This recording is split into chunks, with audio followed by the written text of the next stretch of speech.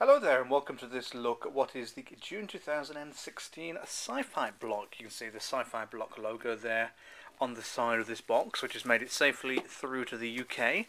If you're interested, I think it's a you know, medium weight, lighter than these sometimes are, but I'm sure there's some interesting science fiction goodies inside.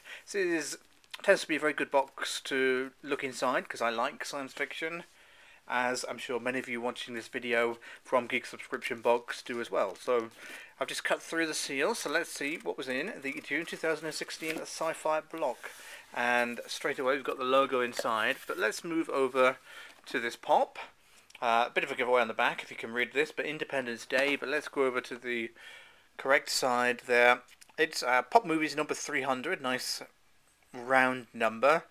Uh, the Independence Day Resurgence, that's the new one. David Levinson, I've not seen the film, so I can't remember all the details of Independence Day from first time around either to say whether this is a recurring character or not. Or it's probably a really obvious one to people watching it. It's years since I've seen it, so there are three of them in the film, Jake Morrison, David Levinson and Alien Warrior, and this is one right in the middle, number 300. So always good to get pops in boxes, they do seem to add some value, so we'll put him to one side and move on to what is typically the item unboxed first, which is a a t-shirt, and looks nice and colourful, blue and orange.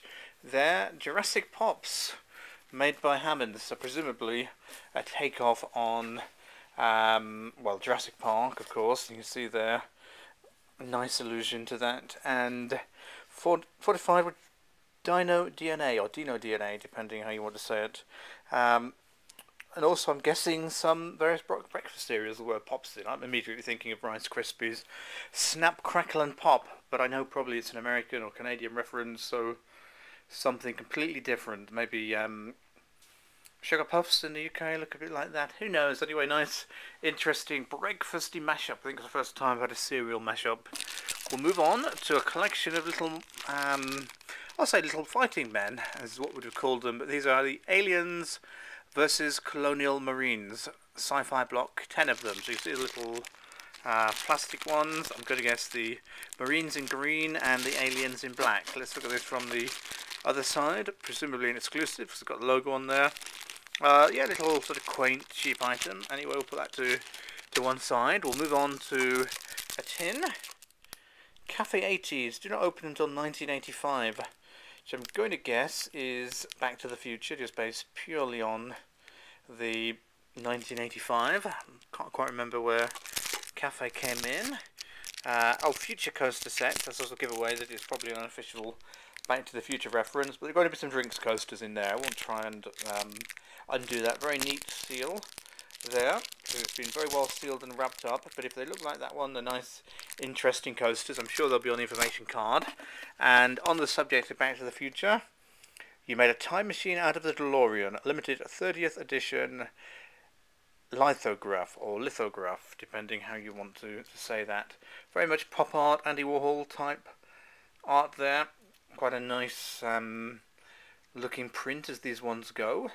So interesting one there. And the final item actually looks to be a good one. It's a Battlestar Galactica from comic book. It's a one shot, so it's a one off. Oh, and a comic book block exclusive. Well, it would be a comic block exclusive, but this isn't comic block. This is sci-fi block. But uh, even so, interesting enough. Can we get into that one? Uh, it's thankfully it's one of these reusable plastic wraps. Quite a thin comic, can tell you that. There. I always like Battlestar Galactica and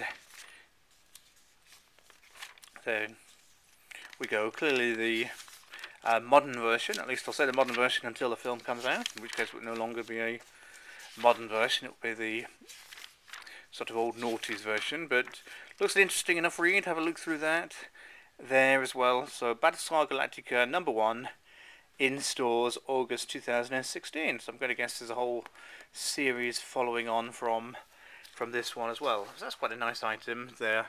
And what have we got? We've got Shirt Punch, $10 credit. That's new in all the boxes. Collect the set and get a $100 gift card. See how that one goes.